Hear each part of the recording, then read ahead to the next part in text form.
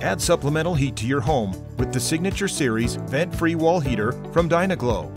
Ideal for your living room or bedroom, it can warm up the room without the need for a flue or chimney. This heater utilizes blue flame technology, which heats and circulates the air, similar to your home's central heating system.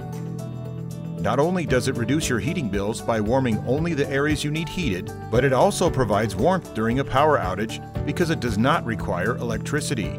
This unit features a thermostatic control system that automatically maintains your ideal temperature with the turn of a knob and five adjustable comfort level settings. All of the mounting hardware is included for easy installation.